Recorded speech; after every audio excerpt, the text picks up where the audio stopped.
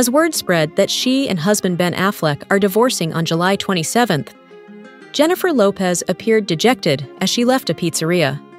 The 51 year old actor and the 55 year old singer are ahead with their divorce after several weeks of desperate attempts at reconciliation ended in failure. The couple's divorce papers are finalized but not yet filed, according to sources.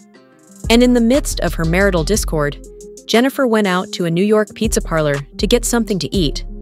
A week before, she had celebrated her birthday and was having lunch al fresco with two male friends, but she was lost in her phone. With her face shaded by big sunglasses, Jennifer leaned over a table with a dejected expression. Jennifer turned 55 on Wednesday, July 24th, the day Ben bought a brand new $20.5 million bachelor pad in the Pacific Palisades. This is when word of her planned divorce surfaced.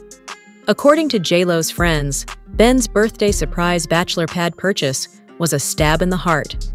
Days after the couple posted their Beverly Hills property, for 68 million they made the acquisition. JLo also completed the $23 million sale of her four-bedroom penthouse in New York City on July 24th, according to People.